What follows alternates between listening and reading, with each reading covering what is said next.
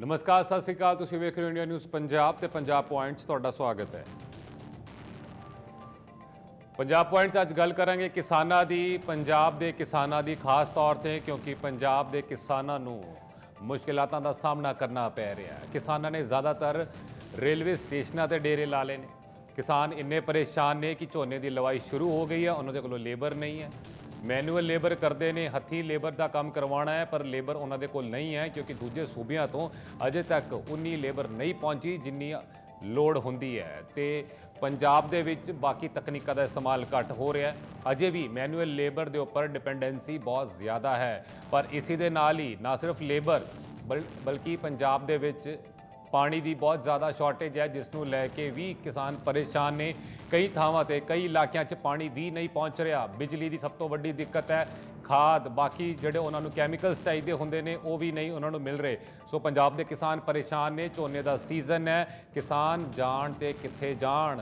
ਤੇ ਇਸੇ ਲਈ ਅੱਜ ਕਿਸਾਨਾਂ ਦੀ ਗੱਲ ਕਰਨ ਲੱਗੇ ਹਾਂ ਪੰਜਾਬ ਦੇ ਕਿਸਾਨਾਂ ਦੀ। ਸੋ ਸਵਾਲ ਕੀ ਖੜੇ ਹੋ ਰਹੇ ਨੇ? ਸਵਾਲ ਪਹਿਲਾ ਤੇ ਇਹੀ ਹੈ ਕਿ ਕੌਣ ਲਵੇਗਾ ਪੰਜਾਬ ਦੇ ਕਿਸਾਨਾਂ ਦੀ ਸਾਰ? ਕਿਉਂਕਿ ਸਾਡੇ ਪੰਜਾਬ ਦੇ ਕਿਸਾਨ ਜੇ ਸੜਕਾਂ ਤੇ ਨੇ, ਰੇਲਵੇ ਸਟੇਸ਼ਨਾਂ ਤੇ ਡੇਰੇ ਲਾਈ ਬੈਠੇ ਨੇ ਤੇ ਉਹਨਾਂ ਦੀ ਸਾਰ ਕੌਣ ਲਏਗਾ? ਸਰਕਾਰਾਂ ਕਿੱਥੇ ਸੁੱਤੀਆਂ ਹੋਈਆਂ ਨੇ? ਝੋਨੇ ਦੀ ਲਵਾਈ ਦੇ ਲਈ ਕਿਸਾਨ ਆਖਿਰ ਪਰੇਸ਼ਾਨ ਨੇ ਤੇ ਉਹਨਾਂ ਦੀ ਸੁਣਵਾਈ ਕਿਉਂ ਨਹੀਂ ਹੋ ਰਹੀ? ਕਿ 8 ਘੰਟੇ ਬਿਜਲੀ ਦੇ ਨਾਲ ਕਿਸਾਨਾਂ ਦਾ ਸਰ ਜਾਏਗਾ? ਕਾਫੀ ਨੇ 8 ਘੰਟੇ। ਕਿਸਾਨਾਂ ਦਾ ਕਹਿਣਾ ਹੈ ਕਿ 12 ਘੰਟੇ ਘੱਟੋ ਘੱਟ ਬਿਜਲੀ ਚਾਹੀਦੀ ਹੈ ਉਹਨਾਂ ਨੂੰ।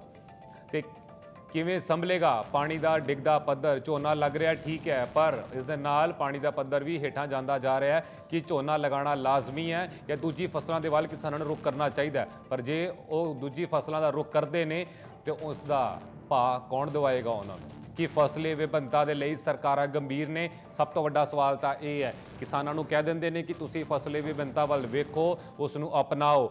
ਪਰ ਉਸ ਦਾ ਵਾਜਬ ਮੁੱਲ ਕਿਸਾਨਾਂ ਨੂੰ ਕੌਣ ਦੇਗਾ? ਇਸ ਦੇ ਉੱਪਰ ਸਾਰੇ ਪੱਲਾ ਝਾੜ ਲੈਂਦੇ ਅੱਜ ਇਸੇ ਦੇ ਉੱਪਰ ਚਰਚਾ ਕਰਾਂਗੇ। ਛੋਟੀ ਜਿਹੀ ਰਿਪੋਰਟ ਉਸ ਤੋਂ ਬਾਅਦ ਚਰਚਾ ਆਰੰਭ ਕਰਦੇ ਹਾਂ।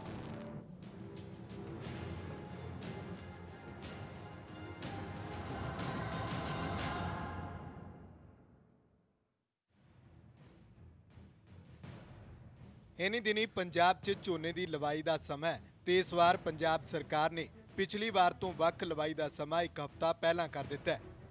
ਪਹਿਲਾਂ ਇਹ 20 ਜੂਨ ਤੋਂ ਹੋਇਆ ਕਰਦਾ ਸੀ ਤੇ ਇਸ ਵਾਰ ਝੋਨੇ ਦੀ ਲਵਾਈ ਨੂੰ 13 ਜੂਨ ਰੱਖਿਆ ਗਿਆ ਪਰ ਕਿਸਾਨਾਂ ਨੂੰ ਜਿੱਥੇ ਇੱਕ ਹਫ਼ਤੇ ਪਹਿਲਾਂ ਝੋਨਾ ਲਾਉਣ ਦੀ ਇਜਾਜ਼ਤ ਮਿਲੀ, ਤਾਂ ਉੱਥੇ ਹੀ ਕਿਸਾਨਾਂ ਨੂੰ ਕੀ ਹੋਰ ਦਿੱਕਤਾਂ ਵੀ ਦਰਪੇਸ਼ ਆ ਰਹੀਆਂ ਨੇ। ਆਓ ਜਾਣਦੇ ਹਾਂ ਕਿਸਾਨਾਂ ਦੀਆਂ ਦਿੱਕਤਾਂ। ਕਿਸਾਨਾਂ ਨੂੰ ਝੋਨੇ ਦੀ ਲਵਾਈ ਲਈ ਲੇਬਰ ਦੀ ਦਿੱਕਤ। ਪੰਜਾਬ ਦੇ ਕਈ ਖੇਤਰਾਂ 'ਚ ਪਾਣੀ ਦੀ ਦਿੱਕਤ। ਬਿਜਲੀ ਦੀ ਸਪਲਾਈ ਦੀ ਪਰੇਸ਼ਾਨੀ। ਮੋਟਰਾਂ ਰਾਹੀਂ ਪਾਣੀ ਲਈ ਮਹਿੰਗਾ ਡੀਜ਼ਲ, ਮਹਿੰਗੀ ਖਾਦ ਤੇ ਮਹਿੰਗੀਆਂ ਦਵਾਈਆਂ।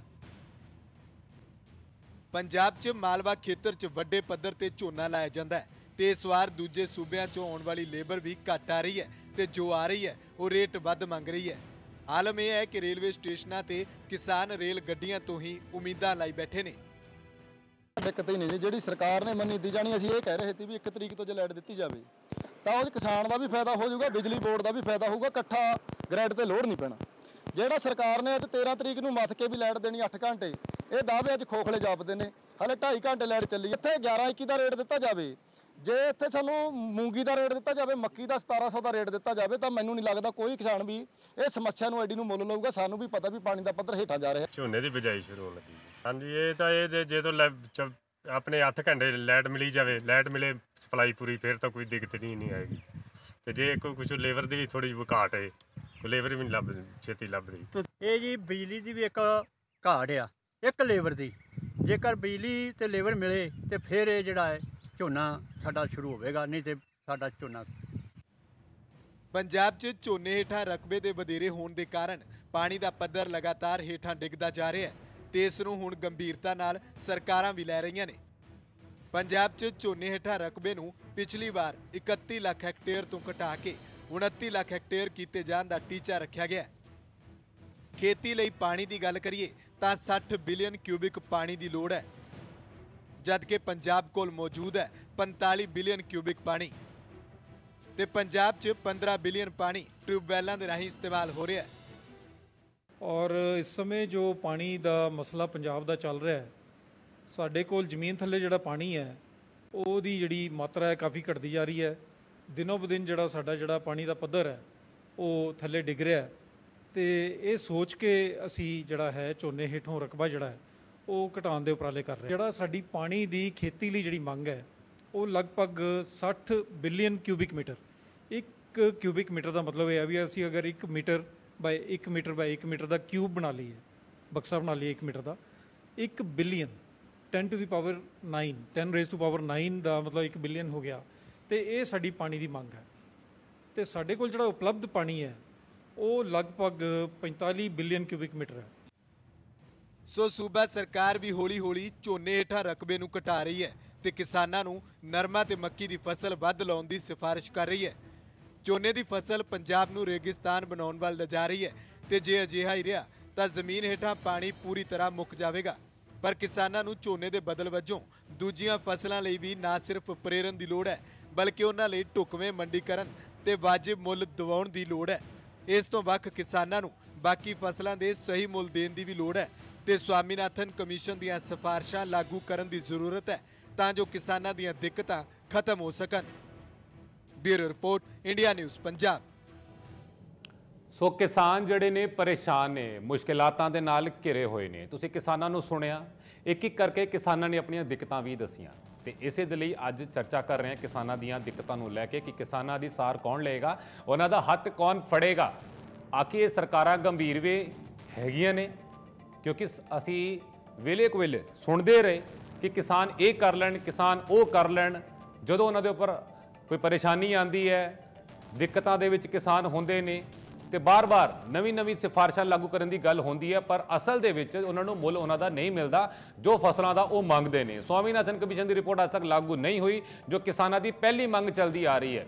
ਇਹ ਸਾਰੀ ਚੀਜ਼ਾਂ ਅੱਜ ਕਿਸਾਨ ਜਾਣਨਾ ਚਾਹੁੰਦੇ ਨੇ ਕਿ ਸਰਕਾਰਾਂ ਕੀ ਕਰਨਗੀਆਂ ਉਹਨਾਂ ਦੇ ਲਈ। ਇਸ ਲਈ ਚਰਚਾ ਵੀ ਕਰ ਰਹੇ, ਖਾਸ ਤੌਰ ਤੇ ਮਹਿਮਾਨ ਵੀ ਸਾਡੇ ਨਾਲ ਜੁੜ ਗਏ ਨੇ। ਜਸਤੇਜ ਸਿੰਘ ਜੀ ਸਾਡੇ ਨਾਲ ਆਮ ਆਦਮੀ ਪਾਰਟੀ ਤੋਂ ਜੀਐਸ ਬਾਲੀ ਸਾਹਿਬ, ਸ਼੍ਰੋਮਣੀ ਅਕਾਲੀ ਦਲ ਤੋਂ। ਨਛੱਤਰ ਸਿੰਘ ਵੈਦਵਾਨ ਸਾਹਿਬ ਭਾਰਤੀ ਕਿਸਾਨ ਯੂਨੀਅਨ ਤੋਂ, ਹਰਜੀਤ ਸਿੰਘ ਭੁੱਲਰ ਜੀ ਭਾਰਤੀ ਜਨਤਾ ਪਾਰਟੀ ਤੋਂ, ਪ੍ਰੋਫੈਸਰ ਮਨਜੀਤ ਸਿੰਘ ਜੀ ਮਹਾਰਦੀ ਤੋਂ ਤਾਂ ਸਾਡੇ ਨਾਲ ਜੁੜ ਰਹੇ ਨੇ। ਗੁਰਪ੍ਰੀਤ ਸਿੰਘ ਅਟਵਾਲ, ਕਿਸਾਨ ਆਗੂ ਨੇ ਜਲੰਧਰ ਸਾਡੇ ਨਾਲ ਜੁੜਨਗੇ। ਤੁਹਾਡਾ ਸਾਰਿਆਂ ਦਾ ਬਹੁਤ-ਬਹੁਤ ਸਵਾਗਤ ਹੈ ਜੀ। ਨਛੱਤਰ ਜੀ ਹੁਣ ਬੈਠੇ ਨੇ, ਕਿਸਾਨਾਂ ਦੀ ਗੱਲ ਕਰ ਰਹੇ ਆ ਨਛੱਤਰ ਜੀ, ਤੁਸੀਂ ਰਿਪੋਰਟ ਵੇਖੀ ਤੇ ਝੋਨੇ ਦਾ ਸਮਾਂ ਜਿਹੜਾ ਹੈ, ਸ਼ੁਰੂ ਹੋ ਗਿਆ। ਕਿਸਾਨ ਜ਼ਿਆਦਾਤਰ ਘਰਾਂ 'ਚ ਘੱਟ, ਵੈਸੇ ਹੁਣ ਤਾਂ ਖੇਤਾਂ 'ਚ ਹੋਣੇ ਚਾਹੀਦੇ ਆ। ਪਰ ਉਹ ਰੇਲਵੇ ਸਟੇਸ਼ਨਾਂ ਤੇ ਉਹਨਾਂ ਨੇ ਡੇਰੇ ਲਾਏ ਹੋਏ ਆ।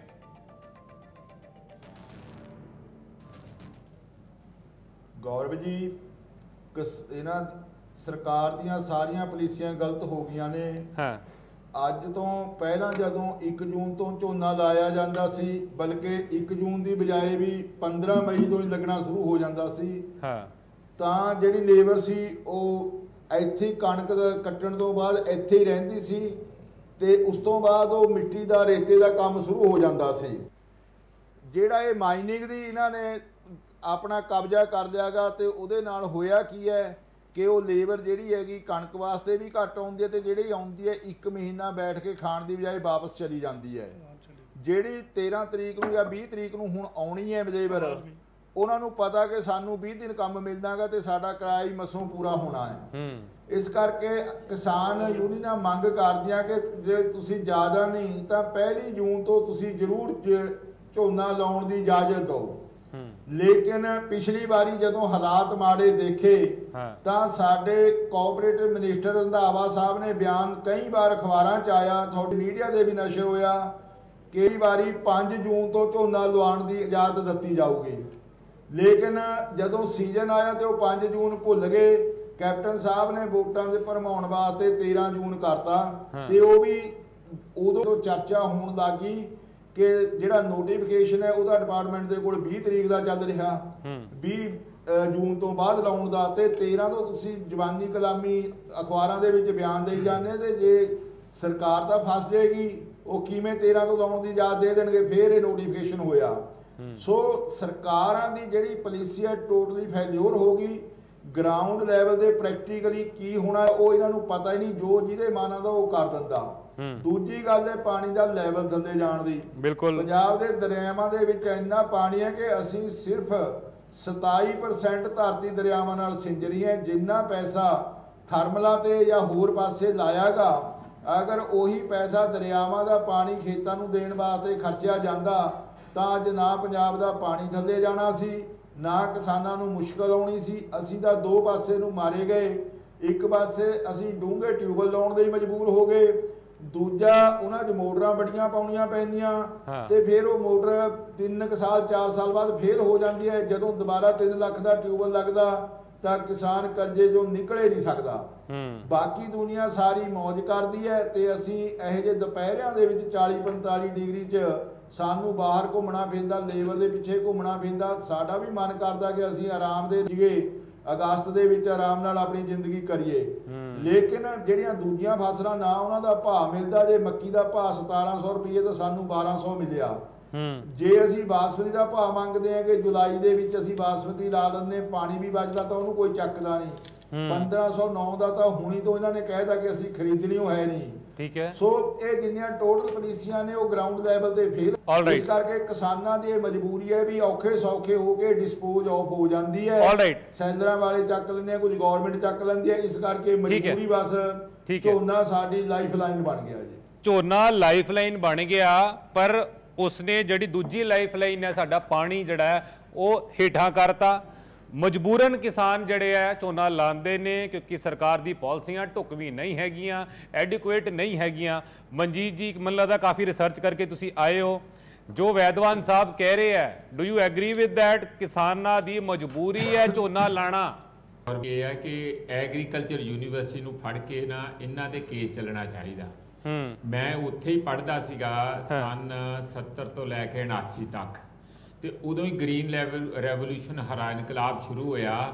ਇਹਨਾਂ ਨੇ ਕਿਸਾਨਾਂ ਨੂੰ ਪਿੰਡਾਂ ਤੋਂ ਬੁਲਾ ਬੁਲਾ ਕੇ ਖਾਦਾਂ ਕੀਟਨਾਸ਼ਕ ਆ ਪਾਓ ਆ ਕਰੋ ਧਾਨ ਲਾਓ ਫਲਾਨਾ ਲਾਓ ਬਹੁਤ ਉਹਨਾਂ ਨੂੰ ਜਾਣੀ ਪ੍ਰੇਰਿਤ ਕੀਤਾ। ਤੇ ਇਹ ਕਿਉਂਕਿ ਉਦੋਂ ਦੇਸ਼ ਨੂੰ ਅਨਾਜ ਦੀ ਲੋੜ ਸੀਗੀ। ਦੇਸ਼ ਬਾਹਰੋਂ ਮਤਲਬ ਗਾਂਧੀ ਵੇਲੇ ਤੁਹਾਨੂੰ ਪਤਾ ਹੀ ਆ ਕਿ ਬਾਹਰੋਂ ਅਨਾਜ ਬਾਰ-ਬਾਰ ਮੰਗਾਉਣਾ ਪੈਂਦਾ ਸੀ ਬੜੀ ਬੇਇੱਜ਼ਤੀ ਵਾਲੀ ਗੱਲ ਸੀ। ਤਾਂ ਡਾਈਵਰਸਿਫਿਕੇਸ਼ਨ ਤੇ ਸੀਗੀ। ਹਰ ਬੰਦਾ ਹਰ ਕਿਸਾਨ ਥੋੜਾ ਥੋੜਾ ਲੋੜ ਮੁਤਾਬਕ ਆਪਣਾ ਜਿਹਨੂੰ ਜੋ ਚਾਹੀਦਾ ਸੀ, ਜਿੰਨਾ ਗੰਨਾ ਚਾਹੀਦਾ ਸੀ, ਜਿੰਨਾ ਕਪਾਹ ਚਾਹੀਦੀ ਸੀ, ਜਿੰਨੀਆਂ ਸਬਜ਼ੀਆਂ ਚਾਹੀਦੀਆਂ ਸੀ, ਦਾਲਾਂ ਚਾਹੀਦੀਆਂ ਸੀ, ਹਰ ਕਿਸਾਨ ਆਪੋ ਆਪਣਾ ਬੀਜ ਕੇ ਬੜਾ ਚੰਗਾ ਭਲਾ ਕੰਮ ਚੱਲ ਰਿਹਾ ਸੀ। ਇਹਨਾਂ ਨੇ ਉਹ ਪੁੱਠਾ ਗੇੜਾ ਦਿੱਤਾ, ਉਹ ਸਾਰੇ ਦਾ ਸਾਰਾ ਮਾਰਕੀਟ ਨਾਲ ਜੋੜ ਦਿੱਤੀ, ਹਰਾ ਇਨਕਲਾਬ ਕਰਕੇ ਖੁਸ਼ਹਾਲੀ ਆਊ ਇਹ ਆਊ, ਤੁਹਾਨੂੰ ਆ ਬਚੂ ਆ ਬਚੂ, ਉਹ ਹੁਣ ਬੰਨ ਲਿਆ ਦੋਵਾਂ ਪਾਸਿਆਂ ਤੋਂ। ਜਿੱਧਰੋਂ ਤੇ ਜਿਹੜੀਆਂ ਚੀਜ਼ਾਂ ਖਰਚੇ ਵਾਲੀਆਂ ਉਹ ਵੀ ਮਾਰਕੀਟ ਚੋਂ ਮਹਿੰਗੀਆਂ ਮਿਲਦੀਆਂ ਜਿਹੜੀਆਂ ਵੇਚਣੀਆਂ ਹੁੰਦੀਆਂ ਉਹ ਹੀ ਜਿਹੜੀਆਂ ਜਿਹੜੀਆਂ ਲਾਉਂਦੇ ਉਹ ਵਿਕਦੀਆਂ ਬਾਕੀ ਤੇ ਕੋਈ ਵਿਕ ਨਹੀਂ ਰਹੀਆਂ। ਤੁਹਾਨੂੰ ਦੱਸ ਰਹੇ ਕਿਸਾਨ ਦੱਸ ਰਹੇ ਆ ਮੱਕੀ ਜਿਹੜੀ ਆ ਉਹ ਕੋਈ ਉਹ ਕੋਈ ਖਰੀਦਾ ਨਹੀਂ। ਜੇ ਕੋਈ ਮੂੰਗੀ ਜਾਂ ਕੋਈ ਹੋਰ ਚੀਜ਼ ਲਾਉਂਦੇ ਆ ਜਿਹੜੀ ਘੱਟ ਜਿਹਨੂੰ ਬਹੁਤ ਘੱਟ ਚਾਹੀਦਾ ਹੈ ਜਿਹੜਾ ਪਾਣੀ ਉਹ ਵੀ ਕੋਈ ਖਰੀਦਾ ਨਹੀਂ। ਇੱਥੇ ਸਨਫਲਾਵਰ ਇਸੇ ਯੂਨੀਵਰਸਿਟੀ ਨੇ ਰੌਲਾ ਪਾਇਆ ਕਿ ਤੁਸੀਂ ਸਨਫਲਾਵਰ ਲਾਓ ਜੀ। ਉਹ 60 ਮੂੰਗੀ ਮੂੰਗੀ ਲਾਓ ਫਲਾਨਾ ਕਰੋ। ਉਹ ਕਈ ਕੁਝ ਕਰ ਚੁੱਕੇ ਆ ਮੱਕੀ ਦਾ ਵੀ ਕਈ ਕਈ ਕਿਸਮ ਦੀਆਂ ਵੈਰਾਈਟੀਆਂ ਛੋਟੇ ਵਾਲੀਆਂ ਵੱਡੀਆਂ ਵਾਲੀਆਂ ਛੋਟੇ ਘੱਟ ਡਿਊਰੇਸ਼ਨ ਵਾਲੀਆਂ। ਇਹ ਸਾਰੇ ਦਾ ਸਾਰਾ ਸਿਆਪਾ ਜਿਹੜਾ ਪਵਾੜਾ ਗਵਰਨਮੈਂਟ ਦਾ ਪਾਇਆ ਹੋਇਆ। ਕਿਸਾਨਾਂ ਨੂੰ ਲਿਆ ਬੰਨ। ਹੁਣ ਉਹ ਕਹਿੰਦੇ ਕਿ ਤੁਸੀਂ ਕਸੂਰਵਾਰ ਆ। ਕਦੀ ਕਹਿੰਦੇ ਆ ਇਦੋਂ ਬੀਜੋ ਕਦੀ ਕਹਿੰਦੇ ਉਦੋਂ ਬੀਜੋ ਕਦੀ 13 ਨੂੰ ਬੀਜੋ ਕਦੀ 20 ਨੂੰ ਬੀਜੋ। ਇਹ ਇੱਕ ਦਿੱਕਤ ਜਿਹੜੀ ਹੈ ਨਾ ਕਿਸਾਨਾਂ ਨੂੰ ਜਿਹੜਾ ਪੂਰਾ ਇਸ ਕਗਾਰ ਤੇ ਪਹੁੰਚਾਉਣਾ ਕਿ ਜਿੱਥੇ ਉਹ ਆਤਮ ਹੱਤਿਆ ਕਰਨ ਔਰ ਕਰਜ਼ਿਆਂ 'ਚ ਫਸਾਉਣਾ ਇਹ ਸਾਰੇ ਦਾ ਸਾਰਾ ਸਰਕਾਰ ਦੀਆਂ ਗਲਤ ਨੀਤੀਆਂ ਦਾ ਹੈਗਾ. ਰਹੀ ਗੱਲ ਜਿਹੜੀ ਵੈਦਵਾਨ ਜੀ ਕਹਿ ਰਹੇ ਆ ਲੇਬਰ ਨਹੀਂ ਮਿਲਦੀ ਜਿਹੜੀ। ਲੇਬਰ ਜਿਹੜੀ ਜਿੱਥੋਂ ਤੱਕ ਹੈਗੀ ਹੈ ਮੈਂ ਇਹਦੇ ਤੇ ਕਿਤਾਬਾਂ ਲਿਖੀਆਂ ਮੈਂ ਰਿਸਰਚ ਕੀਤੀ ਮੈਂ ਕਈ ਰਾਤਾਂ ਰੇਲਵੇ ਸਟੇਸ਼ਨਾਂ ਤੇ ਬਹਿ ਕੇ ਸਨ 80 81 ਦੀਆਂ।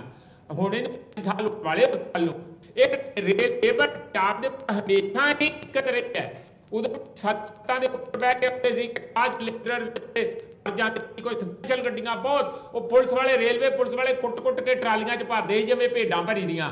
ਤੇ ਮਤਲਬ ਕਾਫੀ ਮੁਸ਼ਕਲ ਸੀ ਹਮੇਸ਼ਾ ਲੇਬਰ ਦੀ।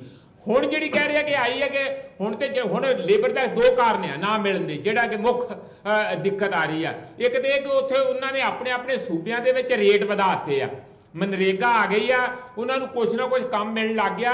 ਇੱਥੇ ਉਹਨਾਂ ਨੂੰ ਪੂਰਾ ਕੰਮ ਨਹੀਂ ਮਿਲਦਾ, ਸੀਜ਼ਨ ਬੜੇ ਛੋਟੇ ਹੋ ਗਏ ਆ।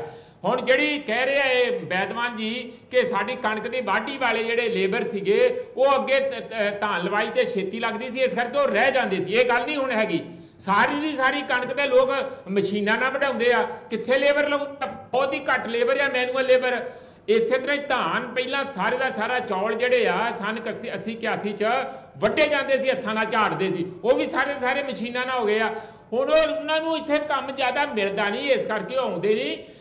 ਪਰ ਲੋਕਲ ਲੇਬਰ ਅਵੇਲੇਬਲ ਹੈਗੀ ਆ ਜਿਹੜੇ ਸਾਡੇ ਆਪਣੇ ਇਥੋਂ ਦੇ ਦਿਹਾਤੀ ਮਜ਼ਦੂਰ ਹੈਗੇ ਆ ਉਹ ਬੜੀ. ਵੱਡੀ ਗਿਣਤੀ 'ਚ ਆ। ਪਰ ਉਹ ਇੰਨੇ ਟ੍ਰੇਨਡ ਨਹੀਂ ਹੈਗੇ ਤੇ ਮਹਿੰਗੇ ਪੈਂਦੇ ਇਸ ਕਰਕੇ ਉਹਨਾਂ ਨੂੰ ਲਾਉਂਦੇ ਨਹੀਂ ਕਿਸਾਨ। ਉਹਨਾਂ ਹੈ। ਟ੍ਰੇਨਡ ਜਿਹੜੇ ਪੈਂਦੇ ਆ ਉਹ ਲੱਭ ਰਹੇ। ਰਾਈਟ ਮੈਨੂਅਲ ਲੇਬਰ ਜਿਹੜੀ ਹੈ ਇੱਥੇ ਹੈਗੀ ਜਿਹੜੀ ਉਹ ਮਹਿੰਗੀ ਪੈਂਦੀ ਹੈ ਬਾਹਰੋਂ ਆਂਦੀ ਘੱਟ ਹੈ ਕਿਉਂਕਿ ਮਸ਼ੀਨਾਂ ਦਾ ਇਸਤੇਮਾਲ ਹੋਣ ਲੱਗ ਪਿਆ। ਜਦੋਂ ਹੁਣ ਲਵਾਈ ਹੈ ਇਹ ਮਸ਼ੀਨਾਂ ਰਾਹੀਂ ਨਹੀਂ ਹੋ ਰਹੀ। ਇਸ ਕਰਕੇ ਲੇਬਰ ਦੀ ਲੋੜ ਪੈਂਦੀ ਹੈ, ਜਿਸ ਕਰਕੇ ਦਿੱਕਤ ਹੁੰਦੀ ਹੈ। ਕਿਸਾਨ ਆਗੂ ਇੱਕ ਹੋਰ ਜੁੜ ਕੇ ਨੇ ਸਾਡੇ ਨਾਲ ਗੁਰਪ੍ਰੀਤ ਸਿੰਘ ਅਟਵਾਲ ਜਲੰਧਰ ਤੋਂ। ਗੁਰਪ੍ਰੀਤ ਜੀ ਆਵਾਜ਼ ਮਿਲ ਪਾ ਰਹੀ ਹੈ ਤੁਹਾਨੂੰ? ਗੁਰਪ੍ਰੀਤ ਜੀ ਆਵਾਜ਼ ਮਿਲ ਪਾ ਰਹੀ ਹੈ? ਹਾਂਜੀ ਹਾਂਜੀ ਗੌਰਵ ਜੀ ਮਿਲ ਰਹੀ। ਹਾਂ ਗੁਰਪ੍ਰੀਤ ਜੀ ਤੁਸੀਂ ਸਾਰਿਆਂ ਨੂੰ ਸੁਣ ਰਹੇ ਹੋ ਸਾਰੇ ਮਾਹਰ ਬੈਠੇ ਹੈ। ਅੱਜ ਕਿਸਾਨਾਂ ਦੀ ਦਸ਼ਾ ਦੇ ਉੱਪਰ ਅਸੀਂ ਚਰਚਾ ਕਰ ਰਹੇ ਹਾਂ ਝੋਨੇ ਦਾ ਸੀਜ਼ਨ ਹੈ ਕਿਸਾਨ ਪਰੇਸ਼ਾਨ ਹੈ। ਤੁਸੀਂ ਸਾਰਾ ਦਿਨ ਕਿਸਾਨਾਂ ਦੇ ਵਿੱਚ ਰਹਿੰਦੇ ਹੋ ਕਿਸਾਨ ਆਗੂ ਹੋ ਕੀ ਕਹਿਣਾ ਚਾਹੋਗੇ?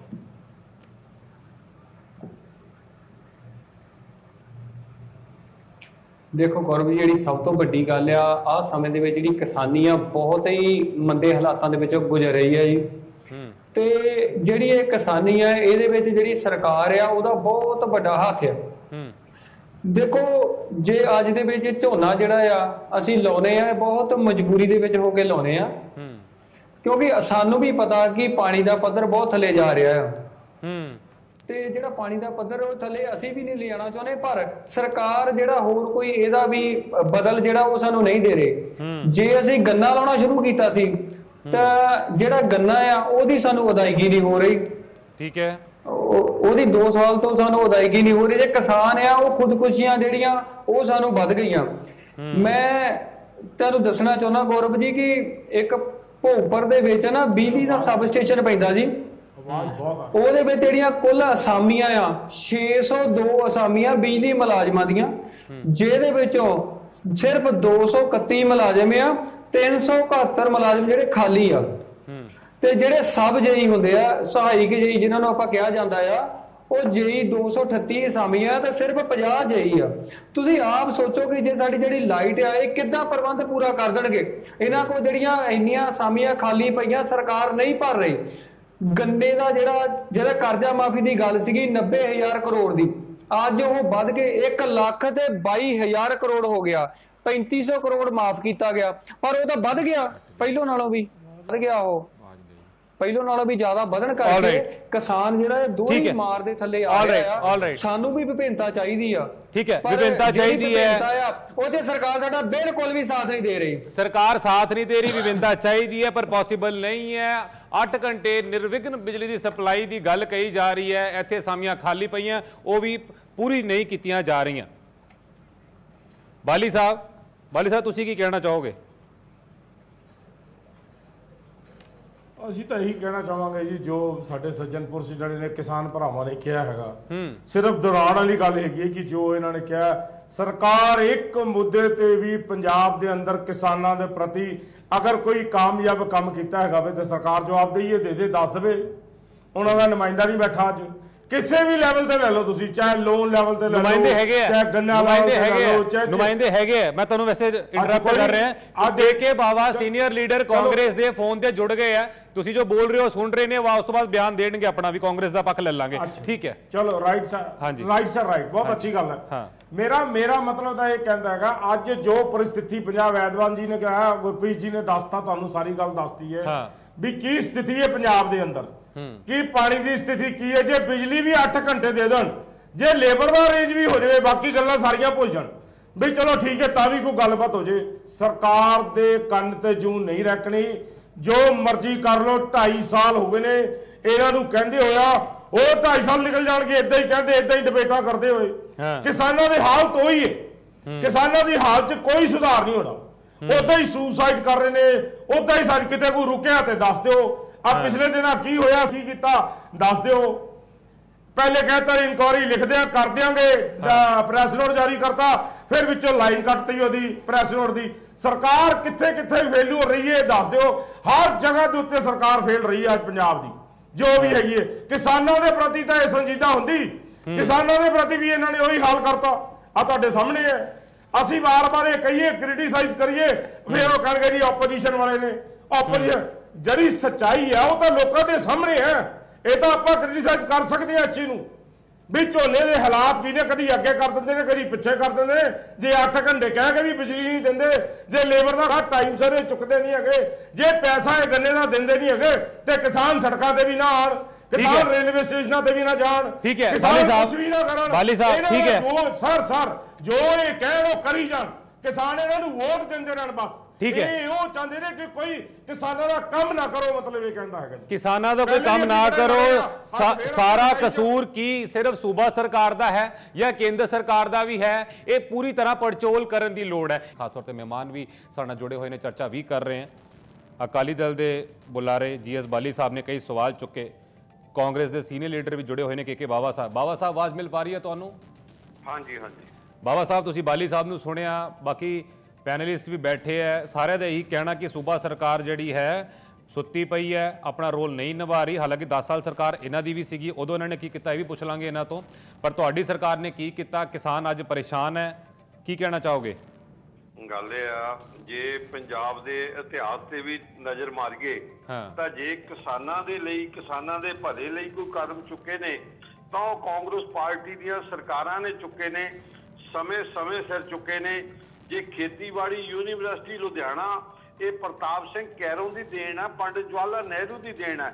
ਭਾਖੜਾ ਡੈਮ ਪ੍ਰਤਾਪ ਸਿੰਘ ਕੈਰੋਂ ਦੀ ਤੇ ਨਹਿਰੂ ਜੀ ਦੀ ਦੇਣ ਹੈ ਅਤੇ ਅੱਜ ਜਿਹੜੇ ਉਸ ਸਮੇਂ 3 ਕੁਆਂਟਲ ਕੱਢ ਕੇ ਇੱਕ ਏਕੜ ਚ ਹੁੰਦੀ ਸੀ ਅੱਜ 25 ਕੁਆਂਟਲ ਹੁੰਦੀ ਹੈ। ਕਾਂਗਰਸ ਪਾਰਟੀ ਇਹ ਯੂਨੀਵਰਸਿਟੀ ਰਾਹੀਂ ਨਵੇਂ ਬੀਜ ਲੈ ਕੇ ਆਈ ਤਦ ਪੰਜਾਬ ਦੇ ਕਿਸਾਨ ਤੇ ਇੱਕ ਹਰਿਆਲੀ ਆਈ। ਤੇ ਅੱਜ ਜਿਹੜੀ ਗੱਲ ਮੈਂ ਦੇਖਿਆ ਪਹਿਲਾਂ ਗੱਲ ਕਰ ਰਹੇ ਸੀ ਕਿ ਤੁਸੀਂ 8 ਘੰਟੇ ਬਿਜਲੀ ਦੀ ਕੈਪਟਨ ਅਮਰਿੰਦਰ ਸਿੰਘ ਜਿਨ੍ਹਾਂ ਨੂੰ ਕਿਸਾਨੀ ਦਾ ਮਸੀਹਾ ਕਿਹਾ ਜਾਂਦਾ ਹੈ ਤੇ ਕੈਪਟਨ ਅਮਰਿੰਦਰ ਸਿੰਘ ਜੋ ਕਹਿੰਦੇ ਨੇ ਉਹ ਕਰਦੇ ਨੇ। 8 ਘੰਟੇ ਬਿਜਲੀ ਦਾ ਉਹਨਾਂ ਨੇ ਵਾਅਦਾ ਕੀਤਾ ਕੱਲ ਹੀ ਵਾਅਦਾ ਕੀਤਾ ਤੇ ਉਹ ਵਾਅਦੇ ਮੁਤਾਬਕ ਝੋਨੇ ਦੇ ਲਈ 8 ਘੰਟੇ ਬਿਜਲੀ ਦੇਣਗੇ।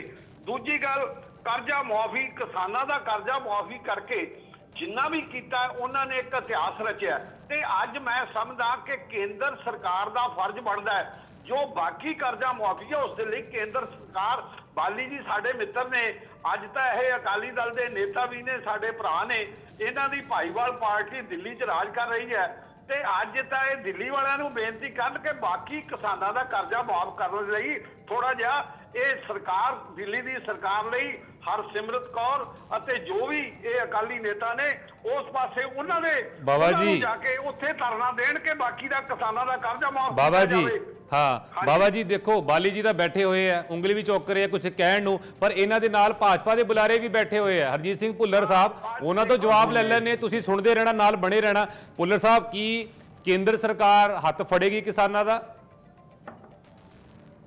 ਵਾਲੀਆ ਜੀ ਬਾਬਾ ਜੀ ਦੀਆਂ ਮੈਂ ਗੱਲਾਂ ਸੁਣ ਰਿਹਾ ਸੀ। ਮੈਂ ਇਹਨਾਂ ਨੂੰ ਇੱਕ ਚੀਜ਼ ਕਹਿਣੀ ਚਾਹੁੰਦਾ ਹਾਂ ਕਿ 2017 ਤੇ 2019 ਚ ਇਹਨਾਂ ਕਿਸਾਨਾਂ ਨੇ ਇਹਨਾਂ ਨੂੰ ਪੂਰਾ ਮੈਂਡੇਟ ਦੇ ਕੇ ਪੰਜਾਬ ਦੇ ਵਿੱਚ ਲੈ ਕੇ ਆਂਦਾ ਹੈ। ਅੱਜ ਕੈਪਟਨ ਸਾਹਿਬ ਜੇ ਥਾਪੀਆਂ ਮਾਰਦੇ ਨੇ ਪੱਟਾਂ ਦੇ ਉੱਤੇ ਤੇ ਇਸੇ ਗੱਲ ਦੀਆਂ ਮਾਰਦੇ ਕਿਉਂਕਿ ਉਹਨਾਂ ਦੀਆਂ ਜਿਹੜੀਆਂ 8 ਸੀਟਾਂ ਆਈਆਂ ਇਹਨਾਂ ਦੇ ਕਿਸਾਨਾਂ ਦੀ ਵਜ੍ਹਾ ਨਾਲ ਆਈਆਂ ਨੇ। ਸ਼ਹਿਰਾਂ 'ਚ ਤੇ ਹਾਰੇ ਨੇ। ਲੇਕਿਨ ਇਹਨਾਂ ਨੇ ਕਿਸਾਨੀ ਦਾ ਜਿੰਨਾ ਘਾਣ ਕੀਤਾ ਹੈ ਜਿਹੜਾ ਬੰਦਾ ਇਹਨਾਂ ਦਾ ਇੱਕ ਲੀਡਰ ਇੱਕ ਮੰਤਰੀ ਜਿਹੜਾ ਥਾਪੀ ਮਾਰ ਮਾਰ ਕੇ ਕਹਿੰਦਾ ਸੀਗਾ ਕਿ ਜੀ ਮੈਂ ਕਿਸਾਨਾਂ ਦਾ ਹਮਾਇਤੀ ਹਾਂ ਮੈਂ ਪੰਜਾਬ ਦਾ ਹਮਾਇਤੀ ਹਾਂ ਮੇਰੇ ਤੋਂ ਵੱਡਾ ਹਮਾਇਤੀ ਕੋਈ ਨਹੀਂ। ਅੱਜ ਉਹ ਆਪਣੀ ਮਿਨਿਸਟਰੀ ਲੈਣ ਨਹੀਂ ਜਾ ਰਿਹਾ। ਜਿਹੜੀ ਮਿਨਿਸਟਰੀ ਦਾ ਕਰਕੇ ਅੱਜ ਪਾਵਰ ਕੱਟ ਲੱਗ ਰਿਹਾ ਹੈ ਜਿਹਦੀ ਮਿਨਿਸਟਰੀ ਦਾ ਕਰਕੇ ਅੱਜ ਬਿਜਲੀ ਨਹੀਂ ਮਿਲ ਰਹੀ ਕਿਸਾਨਾਂ ਨੂੰ ਇਹ 8 ਘੰਟੇ ਦੀ ਗੱਲ ਕਰ ਰਹੇ ਆ ਕਿਸਾਨਾਂ ਨੂੰ 2 ਘੰਟੇ ਬਿਜਲੀ ਨਹੀਂ ਮਿਲ ਰਹੀ। ਪਾਵਰ ਕੱਟ ਲੱਗ ਰਹੇ ਨੇ। ਘੰਟਾ ਬਿਜਲੀ ਆਉਂਦੀ 2 ਘੰਟੇ ਦਾ ਪਾਵਰ ਕੱਟ ਲੱਗ ਜਾਂਦਾ 8 ਘੰਟਿਆਂ ਦੇ ਵਿੱਚ। ਬੜੀ ਮੁਸ਼ਕਲ ਨਾਲ 8 ਘੰਟਿਆਂ 'ਚ 2 2.5 ਘੰਟੇ 3 ਘੰਟੇ ਬਿਜਲੀ ਮਿਲ ਰਹੀ ਹੈ ਉਹਨਾਂ ਨੂੰ। ਜਿਹੜਾ ਪਾਣੀ ਪਹਿਲਾਂ ਲਾਇਆ ਹੁੰਦਾ ਸੁੱਕ ਜਾਂਦਾ ਦੁਬਾਰਾ ਪਾਣੀ ਲਾਉਣਾ ਪੈਂਦਾ ਇਹ ਕੰਡੀਸ਼ਨ ਹੋਈ ਹੋਈ ਹੈ। ਮੈਂ ਇਹ ਪੁੱਛਣਾ ਚਾਹੁੰਦਾ ਪਹਿਲਾਂ ਦੇ ਜਿਹੜਾ ਇਹਨਾਂ ਦਾ ਮੰਤਰੀ ਜੀ ਨੂੰ ਬਣਾਇਆ ਉਹ ਥਾਪਿਆ ਮੰਤਰੀ ਕਿੱਥੋਂ ਨੂੰ ਲੱਭ ਦੇ ਲਓ? ਉਹਨੂੰ ਘੱਟੋ ਘੱਟ ਦੱਸ ਵੀ ਤੇਰੀ ਡਿਊਟੀ ਕੀ ਹੈ ਜਿਹੜਾ ਇਹਨੇ ਥਾਪੀਆਂ ਮਾਰਦਾ ਸੀ ਮੈਂ ਬੜਾ ਹਮੈਤੀ ਆ ਕਿਸਾਨਾਂ ਦਾ ਤੇ ਮੈਂ ਬੜਾ ਹਮੈਤੀ ਆ ਪੰਜਾਬੀਆਂ ਠੀਕ ਦਾ। ਹੈ ਇਹ ਇਹਨਾਂ ਦੀ ਗੱਲ ਹੋ ਗਈ। ਦੂਜੀ ਭੁੱਲਰ ਸਾਹਿਬ ਕਹਿੰਦੇ ਆ ਵੀ ਇਹ ਇਹਨਾਂ ਦੀ ਗੱਲ ਹੋ ਗਈ। ਇਹਨਾਂ ਦੀ ਗੱਲ ਕਰਤੀ। ਗੱਲ ਪੂਰੀ ਪੂਰੀ ਹੋ ਲੈਣ ਦਿਓ ਜਰਾ ਪੂਰੀ ਹਾਂ। ਲੈਣ ਦਿਓ ਵਾਲੀਆ ਸਾਹਿਬ। ਹਾਂ। ਗੱਲ ਪੂਰੀ ਹੋ ਲੈਣ ਦਿਓ। ਬਾਬਾ ਸਾਹਿਬ ਨੇ ਗੱਲ ਕੀਤੀ ਕਿ ਅਸੀਂ ਜਿਹੜਾ ਕਰਜ਼ਾ ਮਾਫ ਕਰਨਾ ਸੀ ਕਰਜ਼ ਸਕਾ ਬਾਕੀ ਜਿਹੜਾ ਹੈਗਾ ਹੁਣ ਸੈਂਟਰ ਗਵਰਨਮੈਂਟ ਕਰੇ। ਇੱਕ ਵਾਰੀ ਸਟੇਜ ਤੇ ਖੜੇ ਹੋ ਕੇ ਇੱਕ ਰੈਲੀ ਕਰਕੇ ਕਿਸਾਨਾਂ ਨੂੰ ਸੱਦ ਕੇ ਉੱਥੇ ਮਾਫੀ ਮੰਗ ਲਓ ਉਹਨਾਂ ਦੇ ਕੋਲੋਂ ਅਸੀਂ ਕਰਜ਼ਾ ਮਾਫ ਕਰਨ ਦੇ ਫੇਲ ਰਹੇ ਜੀ। ਵੀ ਹੁਣ ਕੇਂਦਰ ਸਰਕਾਰ ਜੇ ਕਰ ਸਕਦੀ ਹੈ ਕਰ ਲਵੇ। ਸਾਡੇ ਕੋਲੋਂ ਤਾਂ ਹੁੰਦਾ ਨਹੀਂ। ਅਗਰ ਸੋਚ ਲੂਗੀ ਨਾ ਅਗਰ ਅਗਰ ਇਹ ਮਾਫੀ ਮੰਗ ਹਾਂ, ਲੈਣਗੇ ਤੁਸੀਂ ਕਰ ਦੋਗੇ। ਚਲੋ। ਮੈਂ ਮੈਂ ਇਹਨਾਂ ਦਾ ਸਵਾਲ ਪੁੱਛ ਲੈਣਾ ਤੁਹਾਡਾ ਸਵਾਲ ਮੈਂ ਪੁੱਛ। ਲੈਣਾ ਸੁਣ ਲਓ ਮੇਰਾ ਸਵਾਲ ਲੈ ਲਓ। ਤੁਹਾਡਾ ਸਵਾਲ ਮੈਂ ਇਹਨਾਂ ਨੂੰ ਪੁੱਛਦਾ। ਜੇ ਮਾਫੀ ਮੰਗ ਲੈਣਗੇ ਤੁਸੀਂ ਕਰ ਦੋਗੇ? ਚਲੋ ਇਹੀ ਰਿਹਾ ਫਿਰ। ਮੈਂ ਕਹਿੰਦਾ ਵਿਚਾਰ ਕਰ ਲਾਂਗੇ। ਵਿਚਾਰ ਵਿਚਾਰ ਕਰ ਕਰ ਲਾਂਗੇ, ਲੋਗੇ ਹੱਥ ਖੜੇ ਪਰ ਕਰ ਇਹਨਾਂ ਦੀ। ਮਾਫੀ ਤੋਂ ਬਾਅਦ ਕਰੋਗੇ ਮਤਲਬ ਕੀ ਕਰਨੀ ਪੋਲਿਟਿਕਸ ਹੀ ਕਰਦੇ ਕਿ ਨਹੀਂ ਕਰ ਕਰਨੀ- ਸਕਦਾ? ਕਰਨੀ ਪੋਲਿਟਿਕਸ ਹੀ ਆਪਾਂ। ਸਹੁੰ ਖਾਧੀ ਸੀ ਇਹਨਾਂ ਨੇ। ਜਸਤੇਜ ਜੀ ਜਸਤੇਜ ਜੀ ਦੇਖੋ ਬਹੁਤ ਤਰਾਸਦੀ ਹੈ ਕਿ ਗੌਰਵ ਜੀ, ਗੌਰਵ ਜੀ, ਇੱਕ ਮਿੰਟ ਜ਼ਰੂਰ ਮੈਨੂੰ ਟਾਈਮ ਦਿਓ। ਅਡਵਾਲ ਸਾਹਿਬ, ਇੱਕ ਮਿੰਟ। ਸਿਆਸੀ ਲਾਹਾ ਲੈਣ ਵਾਸਤੇ ਹਾਂ। ਜਿਵੇਂ ਵਰਤਿਆ ਜਾਂਦਾ ਇੱਥੇ ਹਾਂ ਭਾਵੇਂ ਭਾਜਪਾ ਵਰਤ ਰਹੀ ਹੈ ਭਾਵੇਂ ਕਾਂਗਰਸ ਵਰਤ ਰਹੀ ਹੈ ਹਾਂ ਤੇ ਪਰ ਜੋ ਅਸਲੀ ਦੁੱਖ ਹੈ ਇਸ ਵੇਲੇ ਕਿਸਾਨ ਨੂੰ ਉਹ ਹੰਡਾਉਣ ਵਾਸਤੇ ਸਿਰਫ ਇੱਕ ਇੱਕ ਮਤਲਬ ਮਾਫ ਕਰਨਾ ਇੱਕ ਤਮਾਸ਼ਾ ਜਿਹਾ ਕੀਤਾ ਜਾ ਰਿਹਾ ਹੈ। ਸਿਰਫ ਪੰਜਾਬ 'ਚ ਨਹੀਂ ਪੂਰੇ ਦੇਸ਼ ਦੇ ਵਿੱਚ ਹੀ। ਹਾਂ। ਇਸ ਵੇਲੇ ਜਿਹੜੇ ਸੰਕਟ ਨੇ ਉਹ ਸਿਰਫ ਇੱਕ ਜਾਂ ਦੋ ਨਹੀਂ ਦਰਜਨਾ ਸੰਕਟ ਨੇ ਕਿਸਾਨ ਨੂੰ। ਬਿਲਕੁਲ। ਨਾ ਸੈਂਟਰ ਉਹਨਾਂ ਨੂੰ ਕੁਝ ਹੱਥ ਪੱਲਾ ਫੜਾ ਰਹੀ ਹੈ ਤੇ ਸਟੇਟ ਦਾ ਫੇਲਿਅਰ ਤਾਂ ਪੰਜਾਬ ਦੇ ਵਿੱਚ ਸਰੇਆਮ ਦੇਖ ਹੀ। ਰਿਹਾ।